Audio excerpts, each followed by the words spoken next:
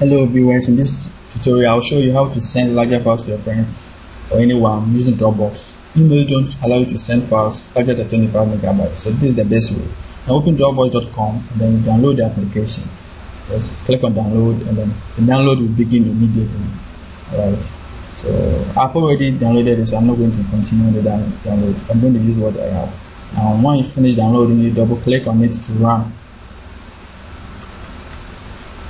double click on it to run as an program. You click on install and application will be installed. The installation, you follow the following the preceding um, process uh, step that I'm going to take you through. And here you'll be asked to choose an account. If you don't have an account, um, you can choose the first option to register for an account. Yes, choose the first option to register for an account. Or you can go to their website and then sign up they are all the same. Or it depends on what you like. But in this tutorial um, I'm going to use my own account since I've already registered. So you, enter all the information that you require and you accept the terms and service. Yeah. so I, I, have an account. I'm going to use my own account to demonstrate this. So I, you enter your email address and the password you used in um, signing up. Not your email address or anything password. The password you use in signing up choose the, the in advance. The advance will help you to change the isolation location of your uh, the Dropbox, which I think is the best so that uh, when you format your computer, you can always get your files back without having to download them back. But in this tutorial, I'll leave it just like that.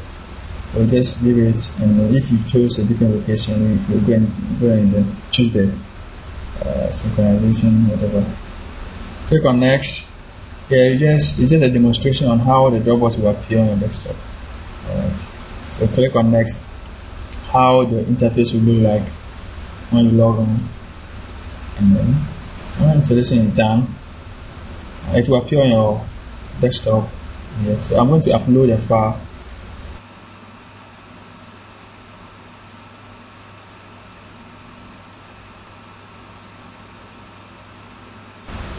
which is large, larger than 25 megabytes. In fact, let me see, I think the size is 500 something.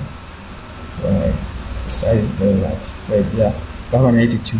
So you can upload files uh, with, which are very large. And then you can share it with your friends. You can send it to them. All right. So the size is very large. So I think if I have to upload it, it's going to, it's going to take a, a longer time. So I'll pause it and I'll use the files that I've already that uploaded in my, my folder. That one will be simple, but it works the same way. Alright. So I already have this folder. And when you want to send this folder to someone, right click on it, alright, and then you click on share link. Click on share link. And these are the files that are in the folder. Now you can actually send files. So if you want to send more than one file, you zip them. You can import contact or send it to Facebook or Twitter. Facebook or Twitter. So it, it, it, it deals with uh, sending uh, files uh, actually and folders. So in this tutorial, I'll, instead of sending it to Facebook uh, or Twitter, I'm going to show you how to send it to many people, those who are not on Facebook. So here, um, you click on the get link and when you click on the get link, you see link copied to clipboard.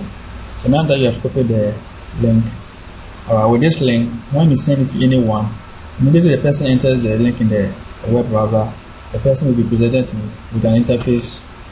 Okay, yes, will be presented with an interface. The files that are in, in, the, in, the, in the folder, and then when you click on any of the files, you'll be asked to download it. So this is the best way to send larger files to um, your friends and everyone. Thanks for watching and subscribe to this channel. Bye.